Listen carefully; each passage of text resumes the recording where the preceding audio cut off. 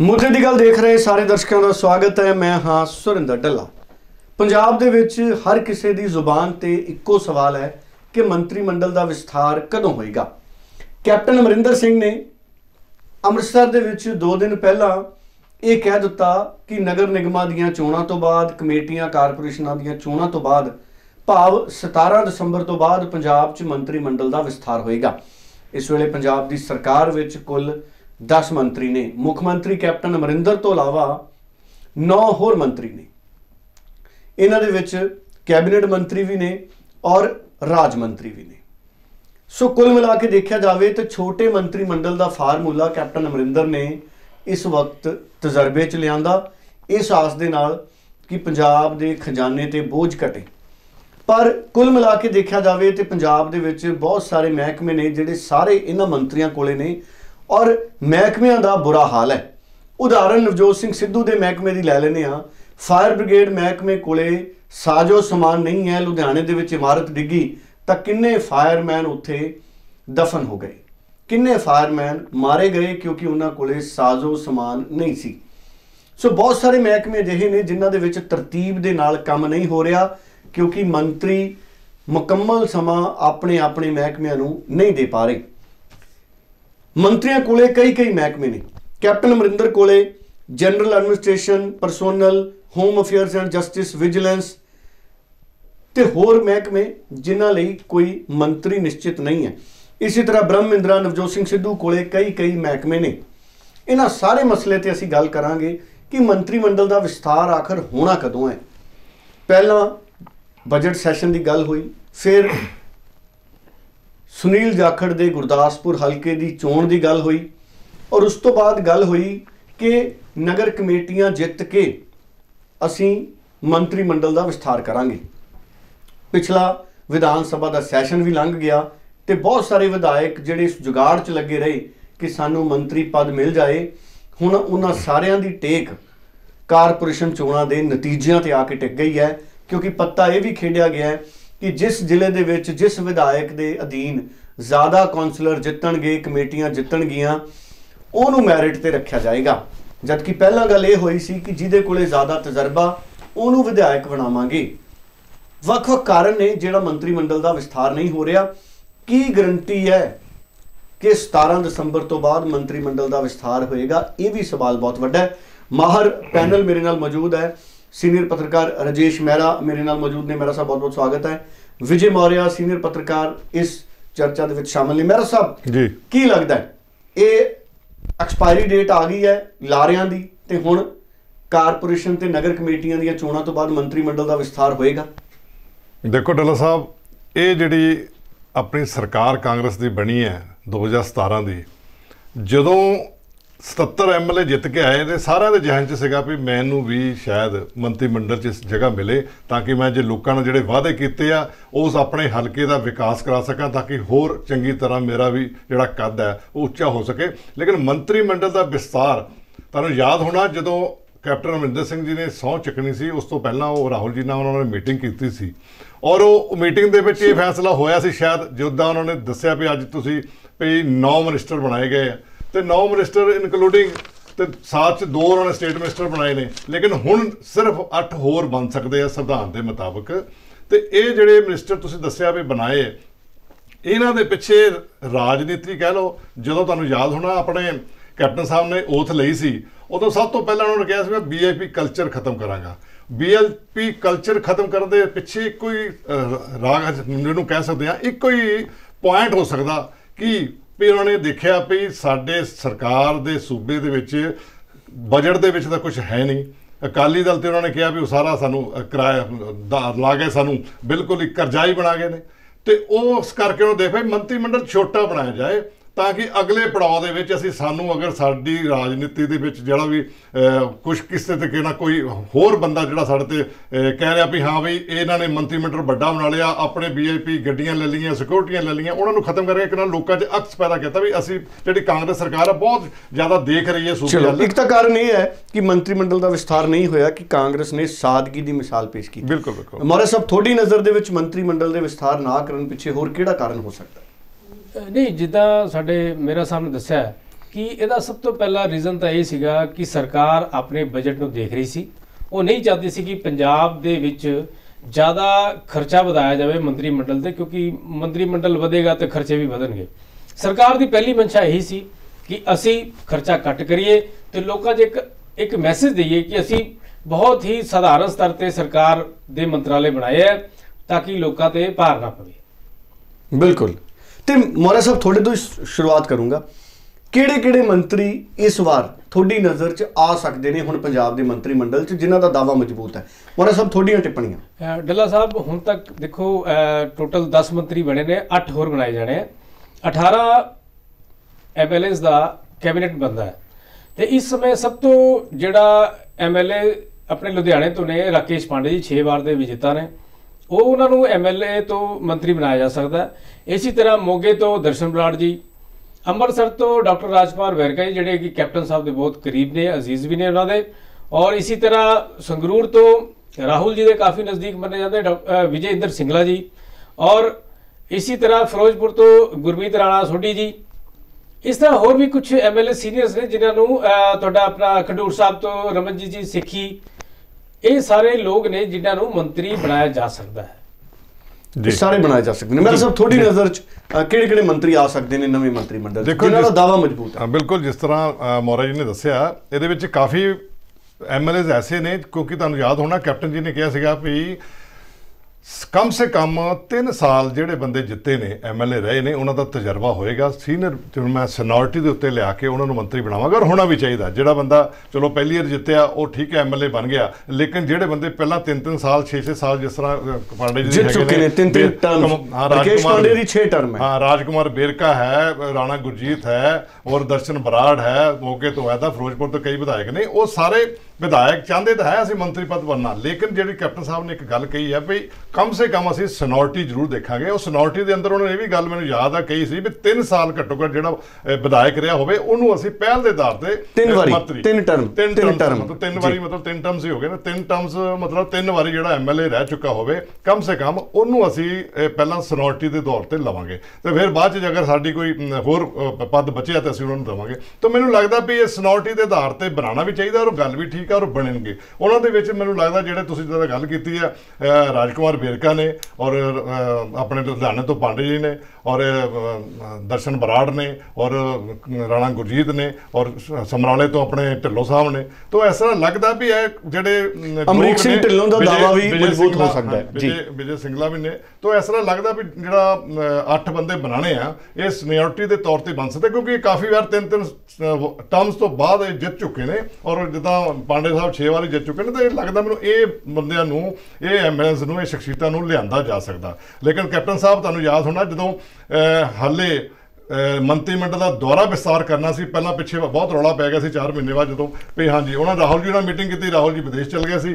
ਉਹ ਵਿਦੇਸ਼ ਤੋਂ ਬਾਅਦ ਕਹਿੰਦੇ ਅਸੀਂ ਆਵਾਂਗੇ, ਉਸ ਤੋਂ ਬਾਅਦ ਜਿਮਨੀ ਚੋਣਾਂ ਆ ਗਈਆਂ। ਜਿਮਨੀ ਚੋਣਾਂ ਦੇ ਵਿੱਚ ਫਿਰ ਉਹਨਾਂ ਨੇ ਕਿਹਾ ਜਦੋਂ ਜਿਮਨੀ ਚੋਣਾਂ ਜਿੱਤ- ਜਿੱਤਣਾ ਜਿੱਤੂਗਾ, ਉਹਨੂੰ ਉਦੋਂ ਉਸ ਤੋਂ ਬਾਅਦ ਅਸੀਂ ਬਣਾਵਾਂਗੇ। ਹੁਣ ਫਿਰ ਉਹਨਾਂ ਨੇ ਕਿਹਾ ਵੀ ਕਾਰਪੋਰੇਸ਼ਨ ਦੀਆਂ ਚੋਣਾਂ ਤੋਂ ਬਾਅਦ ਬਣਾਵਾਂਗੇ। ਲੇਕਿਨ ਹੁਣ ਇਹਨਾਂ ਨੇ ਜਦੋਂ ਕਾਰਪੋਰੇਸ਼ਨ ਦਾ ਮੈਨੀਫੈਸਟੋ ਜਾਰੀ ਕੀਤਾ ਅੰਮ੍ਰਿਤਸਰ ਦੇ ਵਿੱਚ, ਉਦੋਂ ਅਮਰ- ਕੈਪਟਨ ਸਾਹਿਬ ਨੇ ਖੁਲਾਸਾ ਕੀਤਾ ਵੀ ਹੁਣ ਅਸੀਂ ਲੱਗਦਾ ਵੀ ਅਸੀਂ 17 ਤਰੀਕ ਤੋਂ ਬਾਅਦ ਮੰਤਰੀ ਮੰਡਲ ਦਾ ਵਿਸਤਾਰ ਕਰਾਂਗੇ। ਲੇਕਿਨ ਉਹਨਾਂ ਨੇ ਇਹ ਵੀ ਕਿਹਾ ਸੀ ਵੀ ਸ਼ਾਇਦ 14 ਮੈਂ ਸੋਚਿਆ ਸੀ ਮੇਰੇ ਜ਼ਿਹਨ 'ਚ 14 ਤਰੀਕ ਕੋਡ ਆਫ ਕੰਡਕਟ ਲੱਗਣ ਕਰਕੇ ਮੈਂ ਨਹੀਂ ਵਿਸਤਾਰ ਕਰ ਸਕਦਾ। ਹੁਣ ਦੇਖਣਾ ਹੋਊਗਾ ਕਿ ਵਾਕਈ ਜੋ ਕੈਪਟਨ ਸਾਹਿਬ ਨੇ ਕਿਹਾ ਕਿ ਮੰਤਰੀ ਮੰਡਲ ਦਾ ਵਿਸਤਾਰ ਹੋਊਗਾ ਕਿ ਨਹੀਂ ਹੋਊਗਾ ਇਹ ਤਾਂ ਹੁਣ ਆਉਣ ਵਾਲਾ ਟਾਈਮ ਹੀ ਦੱਸੂਗਾ। ਬਿਲਕੁਲ। ਮੋਰਾ ਸਾਹਿਬ ਮਜਬੂਰੀ ਹੋਰ ਕੀ ਹੋ ਸਕਦੀ ਹੈ ਸਰਕਾਰ ਦੀ ਮੰਤਰੀ ਮੰਡਲ ਦਾ ਵਿਸਥਾਰ ਨਾ ਕਰਨ ਦੀ? ਕਿਉਂਕਿ ਕੰਮਕਾਜ ਤਾਂ ਪ੍ਰਭਾਵਿਤ ਹੋ ਰਿਹਾ। ਹੈ। ਔਰ ਵਿਧਾਇਕ ਵੀ ਲਗਾਤਾਰ ਦਬਾਅ ਬਣਾ ਰਹੇ ਨੇ ਕਿਸੇ ਤਰ੍ਹਾਂ ਦੀ ਲੌਬਿੰਗ ਵਿਧਾਇਕਾਂ ਵੱਲੋਂ ਕੀਤੀ ਜਾ ਰਹੀ ਹੈ? ਜੀ ਬਿਲਕੁਲ। ਕੈਪਟਨ ਸਾਹਿਬ ਨੇ ਜਦੋਂ ਆਏ ਸੀਗੇ ਇਹਨਾਂ ਨੇ ਇੱਕ ਵਾਅਦਾ ਕੀਤਾ ਕਿ ਅਸੀਂ ਮੰਤਰੀ ਮੰਡਲ ਵਧਾਵਾਂਗੇ ਜਦੋਂ ਸ਼ਪਥ ਲਈ ਉਸ ਤੋਂ ਬਾਅਦ। ਲੇਕਿਨ ਇਹ ਲੰਬਾ ਸਮਾਂ ਖਿੱਚ ਗਿਆ ਲਗਭਗ 9 ਮਹੀਨੇ ਬੀਤ ਚੁੱਕੇ ਆ ਇੱਕ ਗੱਲ ਹੋਰ ਤੁਹਾਨੂੰ ਦੱਸਦਾ ਪਾਰਟੀ ਦੇ ਵਿੱਚ ਹੀ ਕਈ ਐਮਐਲਏਸ ਕੈਪਟਨ ਸਾਹਿਬ ਤੋਂ ਨਾਰਾਜ਼ ਚੱਲ ਰਹੇ ਨੇ।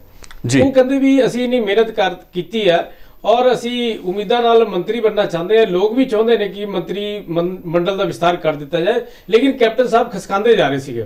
ਕਦੇ ਉਹ ਜਿਮਣੀ ਚੋਣਾਂ ਦਾ ਕਦੇ ਹੋਰ ਕੋਈ ਪੰਗਾ ਕਦੇ ਵੀ ਰਾਹੁਲ ਗਾਂਧੀ ਨੂੰ ਜਦ ਪ੍ਰਧਾਨ ਮੰਨ ਲਓ ਲੇਕਿਨ ਇਹ ਸਭ ਚੀਜ਼ਾਂ ਕਦ ਤੱਕ ਚੱਲਣਗੀਆਂ? ਸਰ ਕੈਪਟਨ ਸਾਹਿਬ ਕੋਲ ਹੁਣ ਕੋਈ ਬਹਾਨਾ ਨਹੀਂ ਹੈ। ਕੈਪਟਨ ਸਾਹਿਬ ਨੂੰ ਹੁਣ ਮੰਤਰੀ ਮੰਡਲ ਦਾ ਵਿਸਤਾਰ ਕਰਨਾ ਹੀ ਪੈਣਾ ਜੋ ਕਿ ਜ਼ਰੂਰੀ ਹੈ। ਔਰ ਦੇਖਣਾ ਪਏਗਾ ਹੁਣ ਇਹ ਜਿੱਦਾਂ ਉਹਨਾਂ ਨੇ ਕਿਹਾ ਕਿ ਅਸੀਂ ਨਿਗਮ ਚੋਣਾਂ ਤੋਂ ਬਾਅਦ ਬਣਾਵਾਂਗੇ। ਔਰ ਮੇਰੇ ਖਿਆਲ ਨਾਲ ਇਹ ਬਣ ਜਾਣਾ ਚਾਹੀਦਾ ਹੁਣ। ਮੇਰਾ ਸਾਹਿਬ ਲੌਬਿੰਗ ਕਿਸ ਤਰ੍ਹਾਂ ਦੀ ਕਰ ਰਹੇ ਨੇ? ਵੱਖ-ਵੱਖ ਵਿਧਾਇਕ ਕਿਹਨੂੰ ਕਿਹਨੂੰ ਅਪਰੋਚ ਲੜਾ ਰਹੇ ਨੇ?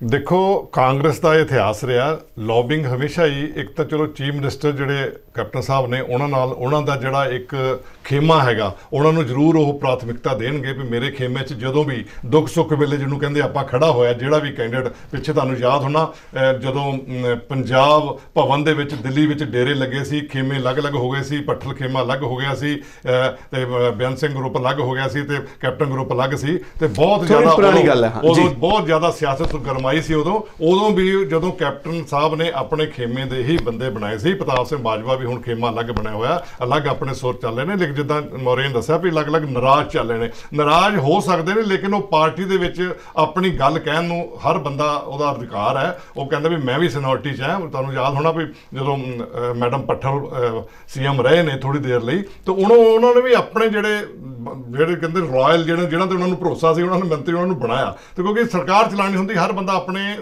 ਖੇਮੇ ਦੇ ਅੰਦਰ ਲਿਆ ਕੇ ਜਿਹਨਾਂ ਬੰਦਿਆਂ ਨੇ ਦੁੱਖ ਸੁੱਖ ਨੂੰ ਖੜੇ ਜ਼ਰੂਰ ਮੰਗਾਉਂਦੇ ਬਾਕੀ ਜਿਹੜੀ ਪ- ਕਾਂਗਰਸ ਦੀ ਗੱਲ ਜਿਹੜੀ ਗੱਲ ਤੁਸੀਂ ਕੀਤੀ, ਕਾਂਗਰਸ 'ਚ ਹਮੇਸ਼ਾ ਹੀ ਹਾਈ ਕਮਾਂਡ ਹੀ ਫੈਸਲਾ ਕਰਦਾ, ਕਿਹਨੇ ਮੰਤਰੀ ਬਣਨਾ, ਕਿਹਨੇ ਨਹੀਂ ਬਣਨਾ। ਇਸ ਕਰਕੇ ਜਿਹੜੇ ਡੇਰੇ ਆ ਨਾ, ਉਹ ਡੇਰੇ ਦਿੱਲੀ ਦੇ ਵਿੱਚ ਹੀ ਲੱਗਣੇ ਆ ਔਰ ਲੱਗ ਰਹੇ ਨੇ। ਹੁਣੇ ਤੇ ਲੌਬਿੰਗ ਸ਼ੁਰੂ ਹੋ ਗਈ ਆ, ਰਾਹੁਲ ਗਾਂਧੀ, ਸੋਨੀਆ ਗਾਂਧੀ ਦੇ, ਔਰ ਵੱਡੇ ਵੱਡੇ ਅਹਿਮਦ ਪਟੇਲ ਜਿੰਨੇ ਵੀ ਉੱਥੇ ਜਿਹੜੇ 10 ਜਨਪਦ ਦੇ ਵਿੱਚ ਜਿਹੜਾ ਡੇਰਾ ਲੱਗ ਰਿਹਾ, ਉਹ ਹੁਣ ਆਉਣ, ਕਿਉਂਕਿ ਹੁਣ ਕੈਪਟਨ ਸਾਹਿਬ ਨੇ ਨਿਸ਼ਾਨਾ ਸਾਧਤਾ ਤੀਰ ਛੱਡਤਾ ਵੀ ਹੁਣ ਅਸੀਂ ਮੰਤਰੀ ਮੰਡਲ ਦਾ ਵਿਸਤਾਰ ਕਰਨਾ। ਹੁਣ ਉਹ ਨਿਸ਼ਾਨੇ ਦੇ ਵਿੱਚ ਕਿਹੜੇ ਕਿਹੜੇ ਜਿਹੜੇ ਬੰਦੇ ਆਣਾ ਚਾਹੁੰਦੇ ਨੇ ਹੁਣ ਉੱਥੇ ਉਹ 10 ਜਨਪਦ ਦੇ ਵਿੱਚ ਡੇਰਾ ਲੱਗ ਚੁੱਕਾ। ਉੱਥੇ ਲੌਬਿੰਗ ਹੋ ਰਹੀ ਹੈ ਉੱਥੋਂ ਹੀ ਜਿਹਦਾ ਨਾਮ ਸਿਲੈਕਟ ਹੋਇਆ ਉਹੀ ਹੀ ਮੰਤਰੀ ਬਣਨਾ। ਇੱਕ ਗੱਲ ਹੋਰ ਮੈਂ ਜੀ। ਦੱਸਣਾ ਚਾਹੂੰਗਾ ਜੀ ਡੱਲਾ ਜੀ ਜਦੋਂ ਵਿਧਾਨ ਸਭਾ ਚੋਣਾਂ ਹੋਣੀਆਂ ਸੀ 2017 ਦੀਆਂ ਉਸ ਤੋਂ ਪਹਿਲਾਂ ਕੈਪਟਨ ਸਾਹਿਬ ਨੇ ਪੰਜਾਬ ਦੇ ਕੋਨੇ-ਕੋਨੇ ਜਾ ਕੇ ਗੱਲ ਕਹੀ ਸੀ ਮੰਤਰੀ ਮੰਡਲ ਦੇ ਅਸੀਂ ਵਿਸਤਾਰ ਵੀ ਕਰਾਂਗੇ ਮੰਤਰੀ ਵੀ ਬਣਾਵਾਂਗੇ। ਇਸ ਤੋਂ ਨਾਲ ਉਹਨਾਂ ਨੇ ਕਿਹਾ ਸੀ 500 ਤਰੀਕੇ ਦੀ ਚੇਅਰਮੈਨੀਆਂ ਨੇ। ਜਿਹੜੇ ਅਸੀਂ ਕਾਰਜਕਰਤਾ ਨੂੰ ਦਵਾਂਗੇ ਤਾਂ ਕਿ ਉਹ ਪਾਰਟੀ ਲਈ ਵੱਧ ਚੜ ਕੇ ਕੰਮ ਕਰ ਸਕਣ। ਲੇਕਿਨ ਕੈਪਟਨ ਸਾਹਿਬ ਹੁਣ ਤੱਕ ਇਸ ਕੰਮ 'ਚ ਬਹੁਤ ਢਿੱਲੇ ਸਾਬਿਤ ਹੋਏ ਆ। ਉਹਨਾਂ ਨੇ ਤਾਂ ਮੰਤਰਾਲ ਮੰਤਰੀ ਹੀ ਨਹੀਂ ਬਣਾਏ। ਚੇਅਰਮੈਨ ਤਾਂ ਕੀ ਦੇਣੀਆਂ ਸੀ ਲੋਕੀ ਨਾਰਾਜ਼ ਹੋ ਗਏ ਹੁਣ ਅੰਦਰ ਕਿ ਲੋਕਾਂ ਦੇ ਕੰਮ ਹੀ ਨਹੀਂ ਹੋ ਰਹੇ। ਚੇਅਰਮੈਨੀਆਂ ਬੰਦਿਆਂ ਦਾ ਸੰਗਠਨ ਦਾ ਜ਼ਾਹਿਰ ਹੈ ਕਿ ਉਸ ਨੂੰ ਤਾਕਤ ਮਿਲਦੀ।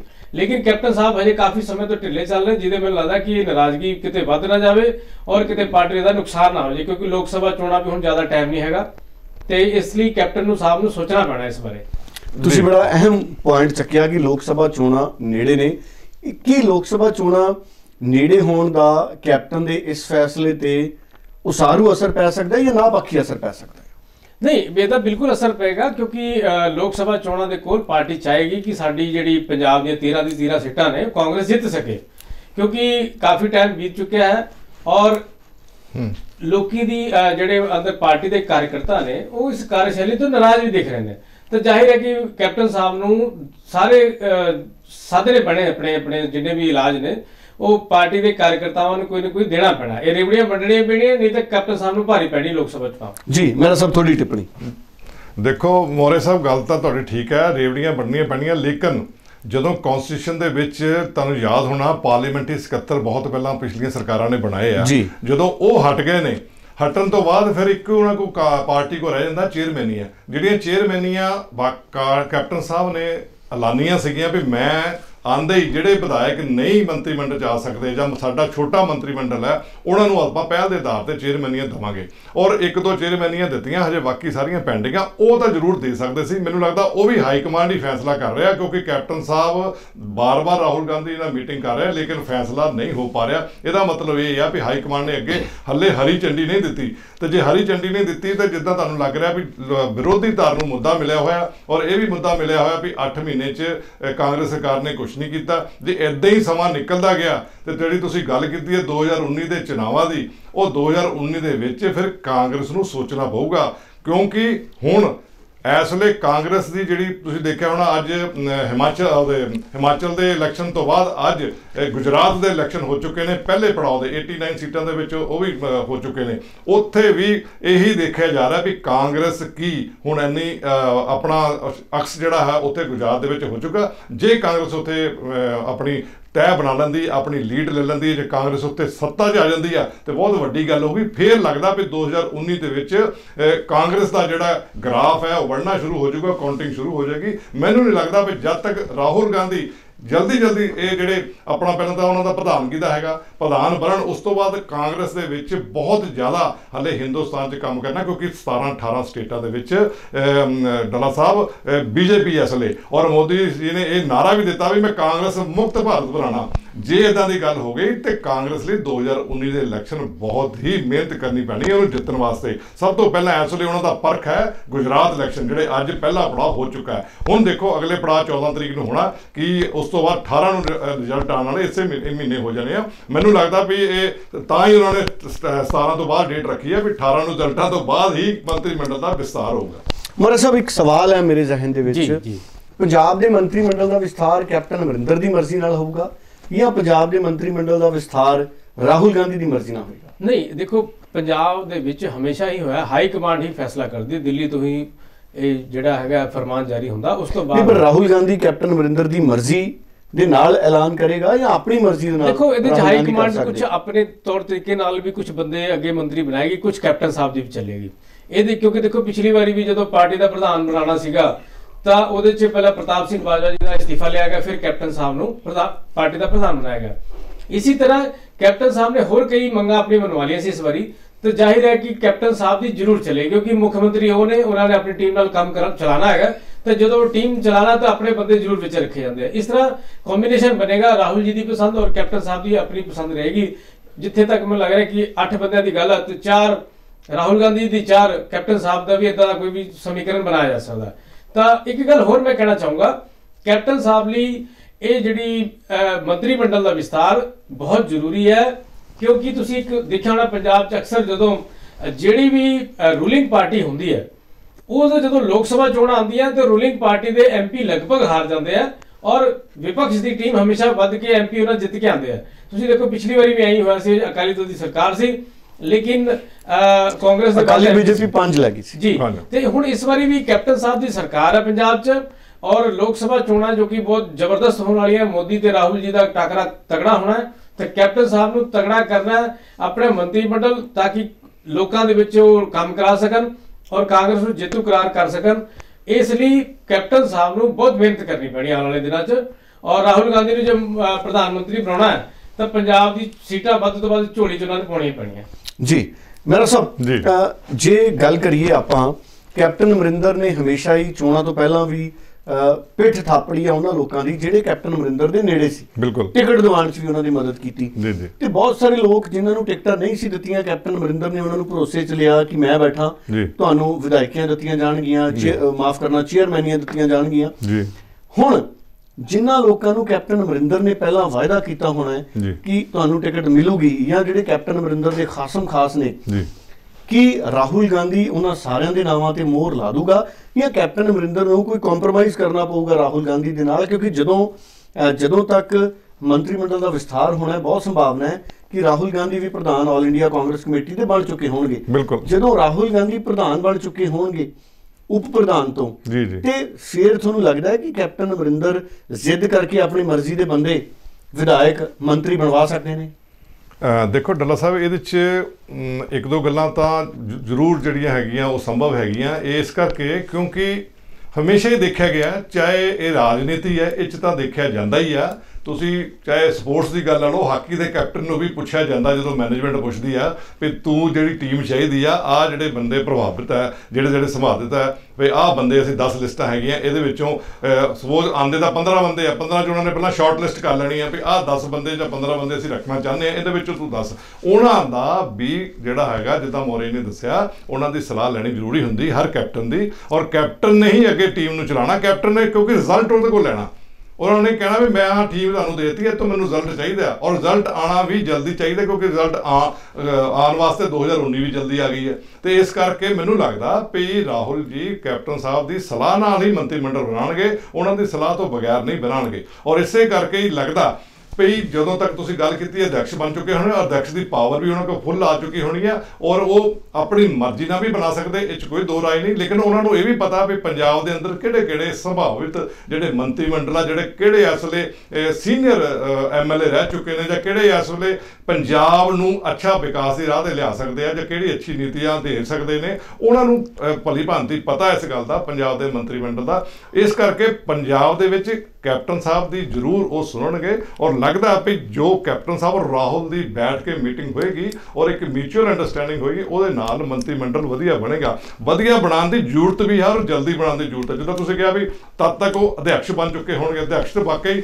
ਉਹਨਾਂ ਨੇ 5 ਤਰੀਕ ਨੂੰ ਬੰਨਣਾ ਸੀਗਾ। ਆਲਮੋਸਟ ਇਹ ਉਹ ਕਹਿੰਦੇ ਨੇ ਇਹ ਇਹ ਇਲੈਕਸ਼ਨ ਨਹੀਂ ਸੀਗੇ ਇਹ ਸਿਲੈਕਸ਼ਨ ਸੀਗੀ। ਸਿਲੈਕਟ ਤਾਂ ਹੋ ਚੁੱਕੇ ਆ। ਹੁਣ ਜਸਟ ਇੱਕ ਉਹਨਾਂ ਨੂੰ ਇੱਕ ਜਿਹਨੂੰ ਕਹਿੰਦੇ Announcement ਬਾਕੀ ਹੈ। ਅਨਾਉਂਸਮੈਂਟ ਬਾਕੀ ਹੈ ਇੱਕ ਤਾਜਪੋਸ਼ੀ ਉਹਨਾਂ ਦੀ ਬਾਕੀ ਹੈਗੀ ਆ। ਉਹ ਹਿਮਾਚਲ ਗੁਜਰਾਤ ਦੇ ਇਲੈਕਸ਼ਨ ਢੀਕ ਰਹੇ ਨੇ। 14 ਤਰੀਕ ਨੂੰ ਇਲੈਕਸ਼ਨ ਖਤਮ ਹੋ ਜਾਣੇ ਆ। ਹੋ ਸਕਦਾ ਉਸ ਤੋਂ 14 ਔਰ 18 ਦੇ ਵਿੱਚ ਵਿੱਚ ਜ਼ਰੂਰ ਉਹਨਾਂ ਦੀ ਤਾਜਪੋਸ਼ੀ ਹੋ ਜਾਏਗੀ। ਤੇ ਲੱਗਦਾ ਮੈਨੂੰ ਵੀ ਕਿਉਂਕਿ ਉਹ ਬਹੁਤ ਜ਼ਿਆਦਾ ਗੰਭੀਰ ਨੇ ਇਸ ਵੇਲੇ ਪੰਜਾਬ ਦੇ ਸੂਬੇ ਦੇ ਮੰਤਰੀ ਮੰਡਲ ਨੂੰ ਲੈ ਕੇ। ਇਸ ਕਰਕੇ ਗੰਭੀਰ ਨੇ ਕਿਉਂਕਿ ਉਹਨਾਂ ਕੋਲ ਸਿਰਫ ਇਸ ਵੇਲੇ ਕਾਂਗਰਸ ਸ਼ਾਸਤ ਜਿਹੜੀਆਂ ਸੂਬੇ ਨੇ, ਉਹ ਦੋ ਤਿੰਨ ਹੀ ਬਚੇ ਨੇ। ਜੇ ਉਹਨਾਂ ਤੇ ਉਹ ਧਿਆਨ ਦੇਣਗੇ, ਤਾਂ ਹੀ ਅਗਲਾ ਜਿਹੜਾ ਪੜਾਅ ਹੈ, ਅਗਲੇ ਸਟੇਟਾਂ ਦੇ ਵਿੱਚ, ਹਿੰਦੁਸਤਾਨ ਦੇ ਵਿੱਚ ਪਹੁੰਚੇਗਾ। ਵੀ ਹਾਂਜੀ, ਸਾਡੀਆਂ ਹੋਰ ਵੀ ਜਿਹੜੀਆਂ ਸਟੇਟਸ ਆ, ਉਹ ਵੀ ਕਾਂਗਰਸ ਦੀ ਸ਼ਾਸਤ ਸੱਤਾਧਾਰੀ ਬਣਨ। ਤੇ ਇਸ ਕਰਕੇ ਬੜੀ ਜ਼ਰੂਰੀ ਹੈ ਬੜਾ ਸੋਚ ਸਮਝ ਕੇ ਕਦਮ ਉਠਾਉਣਾ ਪੈਣਾ ਰਾਹੁਲ ਗਾਂਧੀ ਨੂੰ ਵੀ ਔਰ ਕੈਪਟਨ ਸਾਹਿਬ ਨੂੰ ਵੀ, ਤਾਂ ਕਿ ਕੋਈ ਵੀ ਖੇਮਾ ਜਿਹੜਾ ਨਾ, ਉਹਨਾਂ ਦਾ ਜਿਹੜਾ ਨਾਰਾਜ਼ ਨਾ ਹੋਵੇ, ਸਾਰੇ ਖੇਮਿਆਂ ਨੂੰ ਉਹਨਾਂ ਨੇ ਭਲੀ ਭਾਂਤੀ ਨੂੰ ਰੱਖਣਾ ਪੈਣਾ ਔਰ ਉਹਨਾਂ ਨੂੰ ਬੰਦ ਦੀ ਜਗ੍ਹਾ ਦੇਣੀ ਪੈਣੀ ਹੈ, ਚਾਹੇ ਚੇਅਰਮੈਨੀਆਂ ਦੇਣ, ਚਾਹੇ ਮੰਤਰੀ ਮੰਡਲ ਦੇਣ। ਮੋਰੇ ਸਾਹਿਬ ਥੋੜੀ ਟਿੱਪਣੀ ਕਿਉਂਕਿ ਇਹ ਮਸਲਾ ਬੜਾ ਅਹਿਮ ਹੈ। ਤੁਸੀਂ ਇੱਕ ਗੱਲ ਦੇਖੋ ਡੱਲਾ ਸਾਹਿਬ ਕੈਪਟਨ ਸਾਹਿਬ ਨੇ ਆਪਣੇ ਸਭ ਤੋਂ ਨਜ਼ਦੀਕੀ ਲਾਲ ਸਿੰਘ ਨੂੰ ਆਂਦਿਆਂ ਹੀ ਚੇਅਰਮੈਨ ਲਵਾਤਾ। ਜੀ। ਮਾਰਕੀਟ ਪੰਜਾਬ ਮੰਡੀ ਬੋਰਡ ਜੀ। ਪੰਜਾਬ ਮੰਡੀ ਬੋਰਡ ਸੌਰੀ ਤੇ ਮੇਰਾ ਕਹਿਣ ਦਾ ਮਤਲਬ ਹੈ ਕਿ ਜੇ ਉਹ ਆਪਣੇ ਖਾਸਮ ਖਾਸ ਲਾਲ ਸਿੰਘ ਨੂੰ ਮੰਡੀ ਬੋਰਡ ਦਾ ਚੇਅਰਮੈਨ ਲਾ ਸਕਦੇ ਤੇ ਬਾਕੀ ਜਿਹੜੇ ਐਮਐਲਏਜ਼ ਨੇ ਜਿਨ੍ਹਾਂ ਦਾ ਘੱਟੋ ਘੱਟ ਦੋ ਜਾਂ ਤਿੰਨ ਵਾਰੀ ਐਮਐਲਏਜ਼ ਰਹਿ ਚੁੱਕੇ ਘੱਟੋ ਘੱਟ ਸੈਟਲ ਕਰਨ ਕਿਤੇ ਨਾ ਕਿਤੇ। ਉਹਦੇ ਨਾਲ ਇੱਕ ਮੈਸੇਜ ਜਾਏਗਾ ਇਲਾਕੇ ਦੇ ਵਿੱਚ ਜੇ ਕੋਈ ਸਮੱਸਿਆ ਨੇ, ਮੰਤਰੀ ਬਣਨ ਤੋਂ ਬਾਅਦ ਜਾਂ ਚੇਅਰਮੈਨ ਬਣਨ ਤੋਂ ਬਾਅਦ ਪਾਵਰਾਂ ਨੂੰ ਕੋ ਵੱਧ ਜਾਂਦੀਆਂ, ਤਾਂ ਲੋਕਾਂ ਦੇ ਕੰਮ ਕਰਾਂਗੇ ਜ਼ਾਹਿਰ ਲੋਕ ਜੁੜਨਗੇ, ਔਰ ਫਿਰ ਪਾਰਟੀ ਵੱਲ ਉਹਨਾਂ ਦਾ ਧਿਆਨ ਜਾਏਗਾ।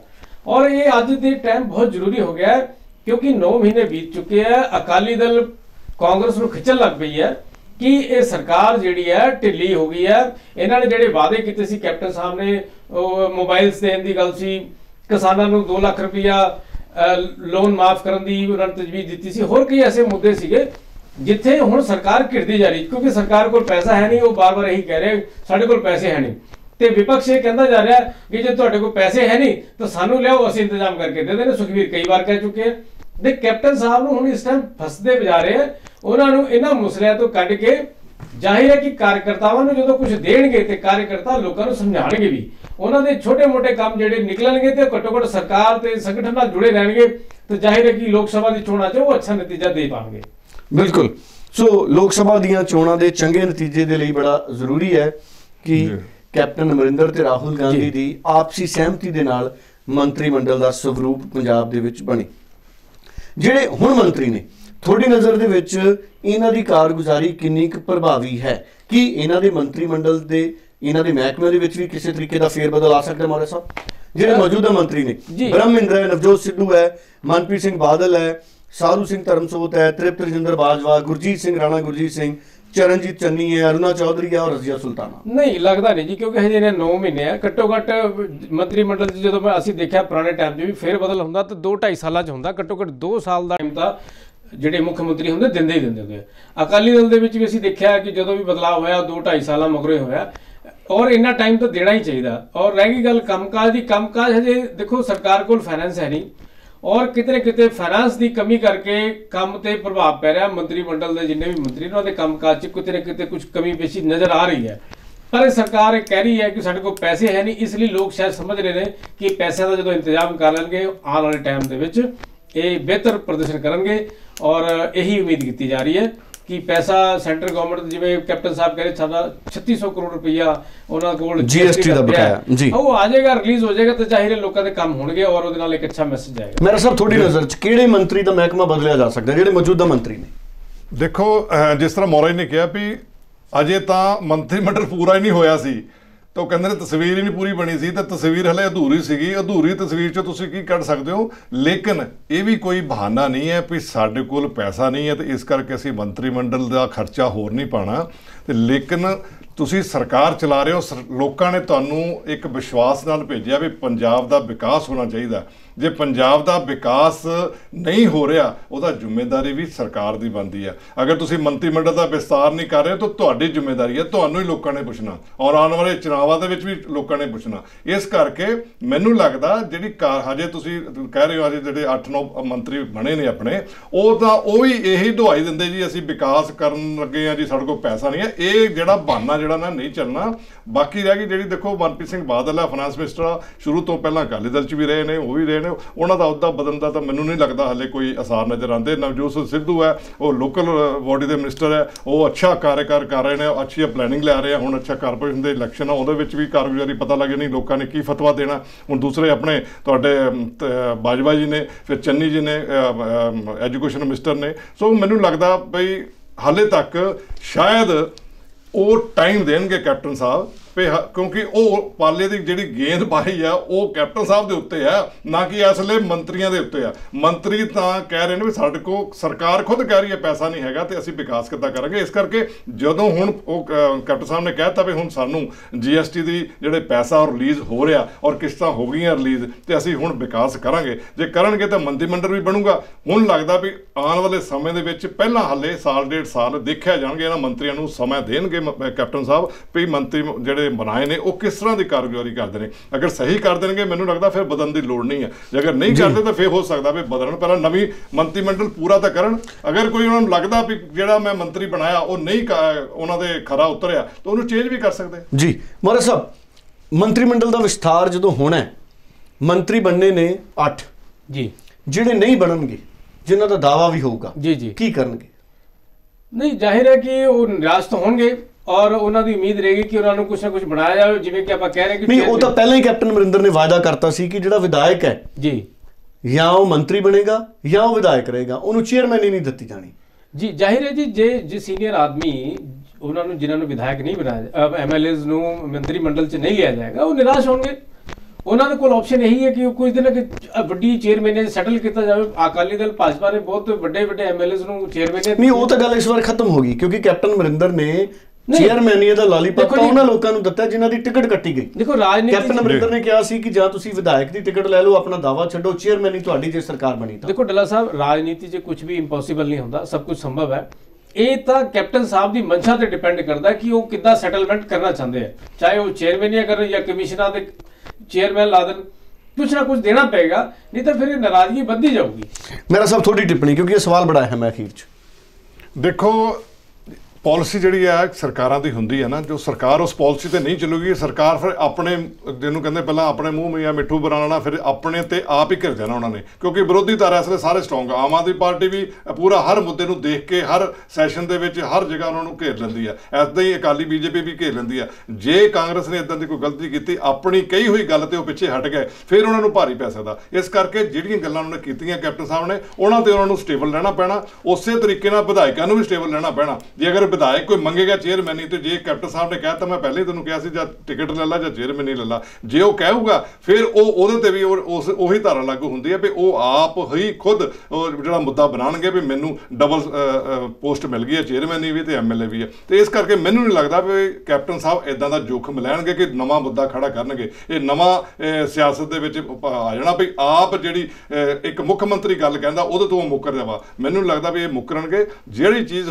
ਉਹਨਾਂ ਨੇ ਕਹਿ ਦਿੱਤੀ ਆ ਮੈਨੂੰ ਲੱਗਦਾ ਉਹਦੇ ਤੇ ਉਹ ਕਾਇਮ ਰਹਿਣਗੇ। ਨਹੀਂ ਕਾਇਮ ਰਹਿਣਗੇ ਵਿਪਕਸ਼ ਨੂੰ ਜਿਹੜਾ ਹੈ ਉਹ ਵੱਡਾ ਮੁੱਦਾ ਮਿਲ ਜਾਣਾ ਕਿਉਂਕਿ ਆਉਣ ਵਾਲੇ ਚੁਣਾਵ ਜਿਹੜੇ ਆ 2019 ਦੇ ਲੱਗੇ ਆ ਔਰ ਬੜੇ ਫੂਕ ਫੂਕ ਕੇ ਕੈਪਟਨ ਸਾਹਿਬ ਨੂੰ ਕਦਮ ਰੱਖਣਾ ਪੈਣਾ। ਔਰ ਇਹ ਵੀ ਗੱਲ ਠੀਕ ਹੈ ਵੀ ਉਹਨਾਂ ਨੂੰ ਸੈਟਲ ਵੀ ਕਰਨਾ ਪੈਣਾ ਵਿਧਾਇਕਾਂ ਨੂੰ ਆਪਣੇ ਨਾਲ ਜੋੜਨਾ ਵੀ ਪੈਣਾ ਉਹਨਾਂ ਦੀ ਉਹਨਾਂ ਨੂੰ ਸੈਟੀਸਫਾਈ ਵੀ ਕਰਨਾ ਪੈਣਾ ਕਿਉਂਕਿ ਆਫਟਰ ਆਲ ਸਰਕਾਰ ਉਹਨਾਂ ਨੇ ਬਣਾਈ ਹੈ। ਐਮਐਲਏ ਜਿੱਤ ਕੇ ਆਏ ਤੇ ਕੈਪਟਨ ਸਾਹਿਬ ਅੱਜ ਮੁੱਖ ਮੰਤਰੀ ਬਣੇ ਤੁਸੀਂ ਇੱਕ ਗੱਲ ਹੋਰ ਦੇਖੋ ਡੱਲਾ। ਸਾਹਿਬ ਪ੍ਰੇਮ ਮਿੱਤਲ ਜੀ ਅਕਾਲੀ ਦਲ ਦੇ ਵਿਧਾਇਕ ਸੀਗੇ। ਉਹਨਾਂ ਨੂੰ ਸੈੱਟ ਕਰਨ ਲਈ ਸੀਵਰੇਜ ਬੋਰਡ ਦਾ ਚੇਅਰਮੈਨ ਤੱਕ ਲਾਇਆ ਗਿਆ। ਇੱਕ ਵਿਧਾਇਕ ਨੂੰ। ਤਾਂ ਇਹ ਕੋਈ ਵੱਡੀ ਗੱਲ ਨਹੀਂ। ਨਹੀਂ ਉਹ ਅਕਾਲੀ ਰਾਜ ਸੀ। ਅਕਾਲੀ ਰਾਜ ਦੇ ਵਿੱਚ ਤਾਂ ਵਿਧਾਇਕ ਨੂੰ ਕਿਤੇ ਵੀ ਫਿੱਟ ਕੀਤਾ ਜਾ ਸਕਦਾ ਪਰ ਇਸ ਵਾਰ ਕਿਉਂਕਿ ਕਾਂਗਰਸ ਨੇ ਪ੍ਰੋਮਿਸ ਕੀਤਾ ਸੀ ਇਸ ਕਰਕੇ ਜਿਹੜਾ ਸਵਾਲ ਹੈ ਇਹ ਮੇਰਾ ਖੜਾ ਹੋਇਆ ਸੀ। ਚਲੋ ਵੇਖਦੇ ਹਾਂ ਮੰਤਰੀ ਮੰਡਲ ਦਾ ਵਿਸਥਾਰ ਕਦੋਂ ਹੁੰਦਾ ਹੈ ਕਿਉਂਕਿ ਮੰਤਰੀ ਮੰਡਲ ਦੇ ਵਿਸਥਾਰ ਦੇ ਨਾਲ ਬਹੁਤੇ ਘਰਾਂ ਦੇ ਵਿੱਚ ਖੁਸ਼ੀ ਗੂੰਜੇਗੀ ਭੰਗੜੇ ਵੀ ਪੈਣਗੇ ਕਿਉਂਕਿ ਬੜੇ ਲੰਬੇ ਚਿਰਾਂ ਤੋਂ ਕਾਂਗਰਸੀ ਇੰਤਜ਼ਾਰ 'ਚ ਸੀ ਕਿ ਸਾਨੂੰ ਵੀ ਮੰਤਰੀ ਮੰਡਲ 'ਚ ਥਾਂ ਮਿਲੇ, ਝੰਡੀ ਵਾਲੀ ਕਾਰ ਮਿਲੇ, ਲਾਲ ਬੱਤੀ ਤੋਂ ਬਿਨਾ ਮਿਲੇਗੀ ਕਿਉਂਕਿ ਇਸ ਵਾਰ ਲਾਲ ਬੱਤੀ ਦਾ ਪ੍ਰੋਵੀਜ਼ਨ ਨਹੀਂ ਹੈ। ਪਰ ਜਿਨ੍ਹਾਂ ਨੂੰ ਸੀਨੀਅਰਿਟੀ ਕਰਕੇ ਦਾਵਾ ਹੋਣ ਕਰਕੇ ਵੀ ਮੰਤਰੀ ਮੰਡਲ ਦਾ ਅਹੁਦਾ ਨਹੀਂ ਮਿਲੇਗਾ, ਉਹਨਾਂ ਦੀ ਆਉਣ ਵਾਲੀ ਨਵੇਂ ਸਾਲ ਦੀ ਜਿਹੜੀ ਖੁਸ਼ੀ ਹੈ, ਮੈਨੂੰ ਲੱਗਦਾ ਕਿਤਨਾ ਕਿਤੇ ਅਧੂਰੀ ਰਹੂਗੀ। ਸੋ ਮੰਤਰੀ ਮੰਡਲ ਦੇ ਵਿਸਥਾਰ ਦੇ ਨਾਲ ਕੀ ਕਾਂਗਰਸ ਦੇ ਵਿੱਚ ਨਵੇਂ ਸਿਰੇ ਤੋਂ ਕੋਈ ਨਵੀਂ ਰਣਨੀਤੀ ਤਾਂ ਨਹੀਂ ਤੈਅ ਹੋਏਗੀ ਕੋਈ ਨਵੀਂ ਫੁੱਟ ਦਾ ਰਸਤਾ ਤਾਂ ਨਹੀਂ ਬਣੇਗਾ। ਇਹ ਸਾਰੇ ਸਵਾਲ ਬੜੇ ਅਹਿਮ ਰਹਿਣਗੇ। ਆਉਂਦੇ ਦਿਨਾਂ 'ਚ ਇਹਨਾਂ ਸਾਰੇ ਪੁਆਇੰਟਸ ਤੇ ਗੱਲ ਕਰਦੇ ਰਵਾਂਗੇ। ਵਿਜੇ ਮੌਰਿਆ ਜੀ ਬਹੁਤ ਬਹੁਤ ਧੰਨਵਾਦ ਇਸ ਖਾਸ ਚਰਚਾ ਦੇ ਵਿੱਚ ਸ਼ਾਮਲ ਹੋਣ ਲਈ। ਔਰ ਮੇਰਾ ਸਭ ਤੁਹਾਡਾ ਵੀ ਬਹੁਤ ਬਹੁਤ ਧੰਨਵਾਦ ਸੋ ਫਿਲਹਾਲ ਮੁੱਦੇ ਦੀ ਗੱਲ ਵਿੱਚ ਇੰਨਾ ਹੀ। ਆਉਂਦੇ ਦਿਨਾਂ ਦੇ ਵਿੱਚ ਵੀ ਇਸ ਅਹਿਮ ਮੁੱਦੇ ਨੂੰ ਲਗਾਤਾਰ ਫਰੋਲਦੇ ਰਵਾਂਗੇ ਕਿ ਮੰਤਰੀ ਬਣ ਕੌਣ ਰਿਹਾ ਧੰਨਵਾਦ।